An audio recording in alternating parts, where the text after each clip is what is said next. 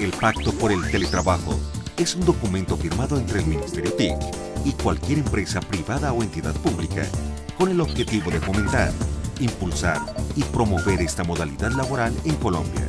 Al firmar el pacto, la organización inicia un proceso de acompañamiento técnico con la Comisión Asesora de Teletrabajo en temas jurídicos, de comunicaciones, tecnológicos y de recursos humanos para llevar a cabo una correcta implementación del teletrabajo.